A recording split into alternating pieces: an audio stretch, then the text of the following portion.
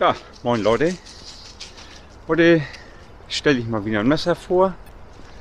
Und zwar ist das diesmal ein Messer der Firma Fiskars. Die machen ja Äxte und all so ein Kram. Ja, und wen das interessiert, dranbleiben und viel Spaß mit dem Video nach dem Intro.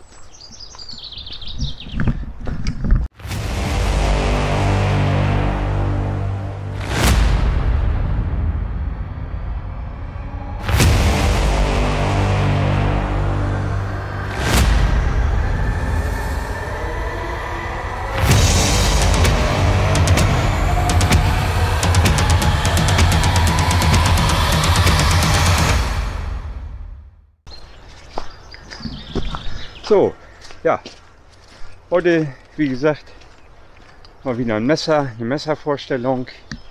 Und zwar ein Messer der Firma Fiskars. Ne? Oranger Griff, also gut wiederzufinden. Nicht ganz so leuchtend wie der, äh, wie der Griff von dem Mora, sau scharf. Aber ich denke mal immer noch sehr gut zu sehen. Äh, hier muss man jetzt als allererstes sagen, also es klappert ziemlich rum, das Messer. Also die Messerscheide hält das Messer nicht so gut wie, wie, bei, wie bei den Messern so von Hulterforce oder von äh, Mora. Ne? Also klar ist ja auch ein bisschen, ne, wenn man ganz doll wackelt, aber bei den sauscharf auch selbst dann nicht. Da ist keine Bewegung drin, aber ein ganz klein bisschen ja, natürlich. Aber naja, das hört man. Das klappert schon mächtig. Aber ich denke mal, das ist dem geschuldet, dass hier auch ein integrierter Messerschärfer äh, bei ist. Also der ist in der Messerscheide integriert. Was ich davon jetzt halten soll, weiß ich gar nicht so genau. Also viele sagen, ja, der wird jedes Mal beim Rein- und Rausziehen wird das Messer praktisch geschärft. Ja, ja, weiß ich nicht. Also erstmal sollte man das sowieso, glaube ich, nicht jedes Mal da durchschieben, sondern man führt es dann praktisch eher so ein, dass es den Messerschärfer nicht jedes Mal berührt. Und das ist natürlich ein ganz normaler Messerschärfer, äh, so wie man ihn auch bei dem Klingendoktor zum Beispiel hat. Also diese beiden schräg stehenden äh, Metallklingen, die dann praktisch äh, ja, das Messer nachschärfen sollen. Da ist aber immer eine Klinge vorne und eine hinten. Also das bedeutet, beim Rein- bzw. beim Rausziehen, wenn man das Messer da durchzieht, wird der Grat immer in eine Richtung gedrückt. Dieser Schneidegrad nenne ich den mal. Und deswegen wird es immer, ja, immer irgendwo so ein bisschen stumpf sein. Das ist nun mal so. Ne? Man müsste es dann danach nochmal über, über einen Wetzstein abziehen oder über einen Ledergurt oder sowas, damit man den Grat dann auch möglichst ja, mittig hat. Ne? So, gut, das nun mal dazu. Die Messerscheide ansonsten na, hier mit dem mit dem typischen Widerhaken. Hier gibt es auch diesen, diesen Verschluss. Ich denke mal, dass man da eventuell auch ein zweites Fiskars mit befestigen kann. Das ist übrigens das Fiskars Universalmesser. Also es gibt da verschiedene und das, wie gesagt, ist das Fiskars Universal. So, ich werde das mal rausziehen weil, ja, so, ich werde das jetzt mal so ein bisschen ruhig hier in die Kamera halten, weil da hatte sich ein äh, Zuschauer beschwert, dass ich das Messer im Gehen vorstelle und dass er das Messer dann nicht richtig erkennen konnte. Und ja, das will ich jetzt mal äh, ja, so verbessern, das Video. Andererseits kann man natürlich auch den, die Stopptaste benutzen oder Man kann es sich bei Amazon raussuchen, kann es sich da ganz in Ruhe angucken. Ne? Nur mal so. Gut, ja. Ziemlich kräftiger Griff. Ähm, es gummiert hier, dieses Orange ist gummiert. Das Schwarze ist Plastik. Die Klinge ist 8,8 cm lang. Kommt sehr scharf an. Allerdings nicht so scharf wie jetzt Mora oder wie ein Hulterforce. Aber immer noch ausreichend scharf. Und da gehe ich mal davon aus, dass es daran liegt, dass hier, ich weiß nicht, ob man das erkennen kann, dass da dieser Messerschärfer drin ist und dass das Messer an der mindestens an dieser an der obersten Stelle schon auch immer da so ein bisschen gegenkommt gegen diesen Messerschärfer und dadurch dann die Klinge auch ein bisschen stumpf gemacht wird. So, ich werde mal die Kamera kurz mal irgendwo abstellen und dann will ich euch mal zeigen, ja, wie das Ganze funktioniert. So, wie gesagt, hier ist die Messerscheide, hier integriert, wie gesagt, hier unten, ich zeige das mal mit der Klinge, hier ist der Messerschärfer integriert und wenn man das Messer jetzt aber hier oben praktisch ansetzt, dann geht es nicht jedes Mal durch den Messerschärfer durch. Also da muss man es wohl schon dann auch wirklich hier unten, ich hoffe man sieht das so ein bisschen, hier unten durchziehen. Ne? Aber dadurch, dass man das hier durchzieht und das natürlich auf einer Seite ja, praktisch rüber gedrückt wird auf der hinteren Seite, äh, ist das Messer nicht so hundertprozentig scharf wie es sein könnte. Man muss dann noch so, so einen Wettstein haben, wo man das dann nochmal drüber abziehen kann. Oder man nimmt sich einen Stein, den man irgendwo findet und zieht dann die Klinge nochmal so ein bisschen ab. Ne? Dass man das beidseitig dann so ein bisschen gerade zieht. Das denke ich mal, ist schon wichtig. Die Idee finde ich gut, keine Frage. Ist immer noch besser wie mit einem stumpfen Messer durch die Gegend oder mit einem ganz stumpfen Messer durch die Gegend zu laufen. So hat man eher die Möglichkeit, wie gesagt, das zieht man da zwei, drei, vier, fünf Mal durch, je nachdem. Zieht es dann nochmal über, wenn man Ledergürtel anhat, über einen Ledergürtel ab oder über einen, einen Stein, den man irgendwo findet. Und ja, dann hat man wieder ein scharfes Messer. Also das passt schon, das ist in Ordnung. Äh, der Preis lag jetzt bei mir bei 14 Euro 25. Ich werde das nachher wieder einblenden. Tut mir leid, ich kann mir sowas immer nicht merken, die Preise. Äh, für den Preis gibt es aber auch schon Mora. Ne? Und ich glaube für, was waren das, drei, zwei, drei Euro mehr gibt es das Mora Robust. Und da würde ich mir dann eher, ja, würde ich eher zum Mora tendieren. Ne? Da hat man schon von der Stabilität her, glaube ich, schon nochmal einen anderen, ja, eine andere Wertigkeit. Ne? Aber das soll nicht heißen, dass das Messer schlecht ist. Also, ne, das gibt genügend Leute, die das äh, Fiskars ja gut finden. Kann ich auch gut verstehen. Und es hat auch sehr gute Bewertungen. Also von daher, ja, passt schon. Gut. Ähm, die Klinge ist aus rostfreiem Edelstahl. Äh, ich konnte jetzt nicht genau sehen, was das jetzt für ein Edelstahl ist. Ähm, also welche, welche Sorte. Ich gucke mal, wenn ich das finde, blende ich das ein. Wie gesagt, der Griff ist, ist gut griffig, ist auch schön groß, also wirklich groß. Ne? Wie gesagt, ich habe Handschuhgröße 10. Das passt alles. So, und dann werde ich gleich mal gucken, mal ein bisschen was schnitzen, wie gesagt, das mit dem Hacken spare ich mir, weil dafür hat, das, äh, hat die Klinge nicht genügend Gewicht. Das gucken wir uns dann, oder das versuchen wir dann gar nicht erst. Ich werde mir gleich mal ein Stück Holz suchen und werde mal versuchen, so ein paar Schnitzgeschichten zu machen. Wobei ich da auch denke, Das sollte kein Problem sein. So. Ja. Natürlich nicht ganz den den äh, Winkel wie bei der anderen. Also ich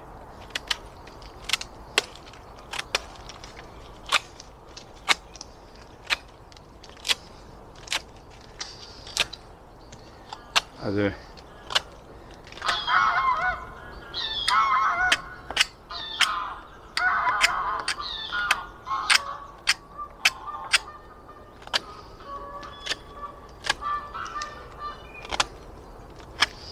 Ich hoffe, man kann das gut erkennen. Ja. Also Schnitzen, wunderbar. Bisschen frischeres Holz. Mal gucken.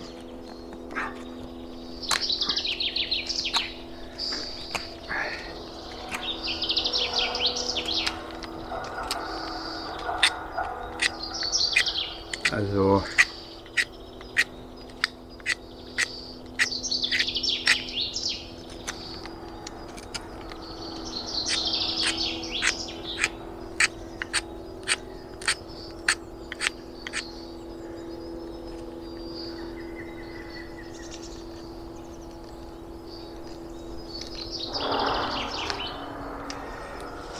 absolut scharf, keine Frage.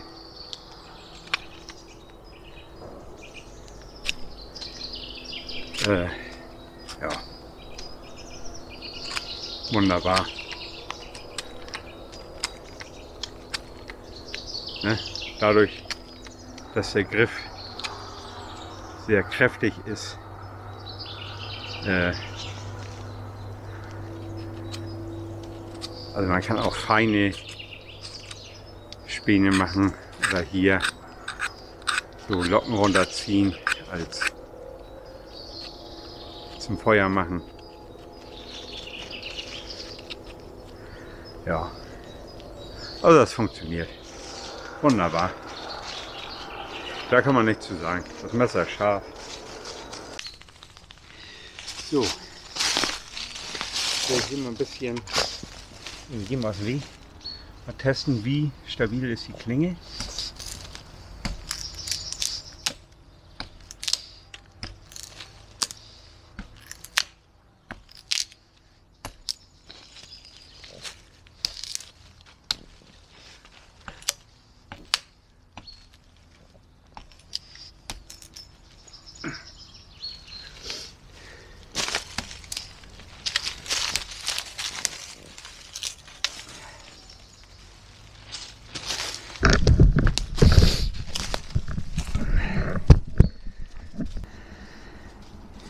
Ja, also man könnte sich jetzt könnte sich jetzt einbilden, dass er leicht, ja doch, doch, hier vorne, das vergrößere ich nachher nochmal, die Spitze ist leicht verbogen.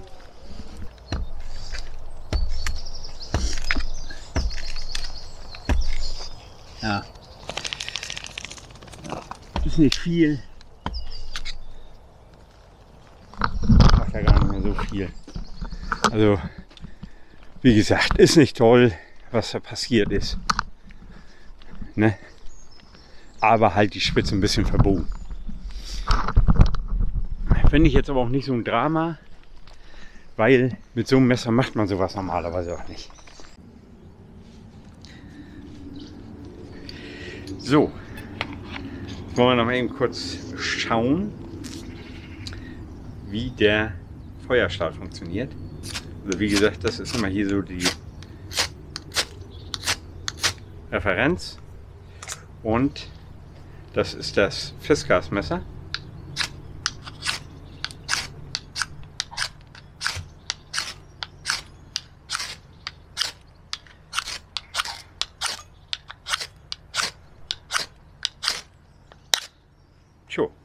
Da kann man nichts zu sagen. Naja.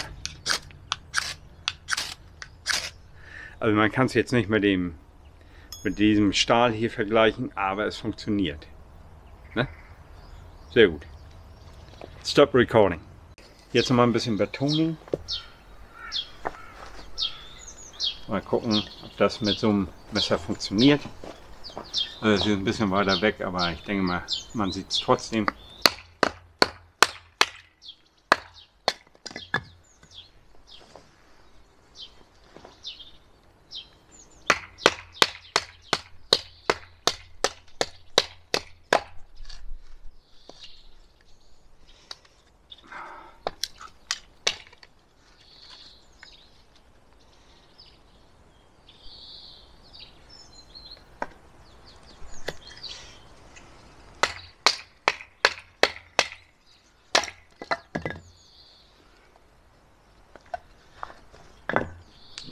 Glaube, das brauchen wir gar nicht jetzt versuchen hier.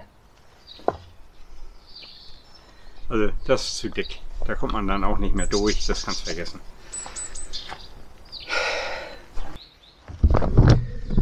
So, mal gucken. Ja.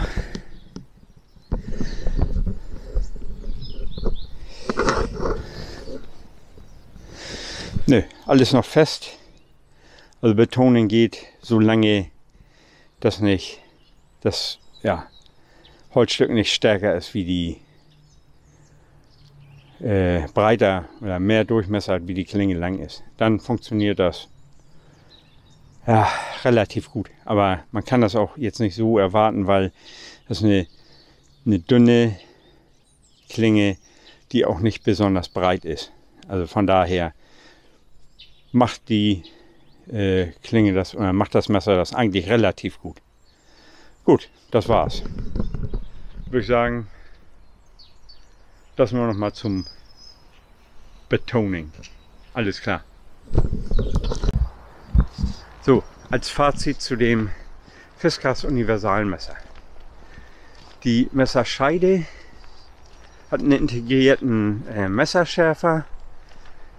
Ähm, ja, gut funktioniert. Ne? Man zieht ihn dann halt zwei, dreimal durch.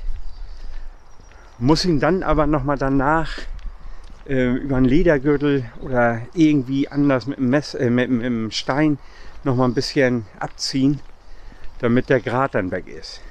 Oder damit der Grat dann ja, auch sauber gerade steht. Deswegen weiß ich nicht. Ich würde mir eher so ein, also ich habe mir so ein Schärfgerät gekauft und würde das dann eher mitnehmen. Das ist relativ klein, das kann man wunderbar mitnehmen und damit kann man gut nachschärfen. Gut. Das Messer klappert, wie gesagt, in der Messerscheide, aber das kommt dadurch, dass die Messerscheide natürlich auch ein bisschen größer ist, damit eben auch noch Platz ist, um den Messerschärfer zu nutzen. Die Klinge ist 8,8 cm lang und besteht aus rostfreiem Edelstahl.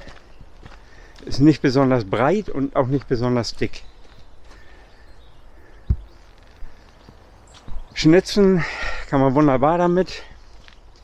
Batoning, ja, würde ich, weiß ich nicht, würde ich vielleicht eher nicht machen. Ich werde es aber gleich nochmal ausprobieren. Ähm, und die Stabilität kann man jetzt nicht mit einem Mora vergleichen oder mit einem Hulterforce. Ne? Aber ich sehe das jetzt nicht so als, als schlimmen Kritikpunkt an, ne? wenn man weiß, äh, was das Messer ab kann, dann kommt man damit wunderbar klar. Das ist genauso wie bei diesem 5-Euro-Messer. Mit dem würde ich das auch nicht machen. So, ja. Also, wenn man mich fragt, ob ich mir das nochmal kaufen würde, nein, würde ich nicht. Ich würde dann lieber 2, 3 Euro draufpacken und würde mir dann wieder ein Mora Robust kaufen, weil das ist wirklich top. Hat zwar keine rostfreie Klinge, aber äh, ist doch extrem stabil. Ja, also soweit. Wie gesagt, ähm, muss jeder für sich selbst entscheiden, ob er sich das Messer kaufen würde oder dann doch ein anderes. Ne? Gut, ähm, dann bedanke ich mich fürs Zuschauen und bis zum nächsten Mal. Ciao.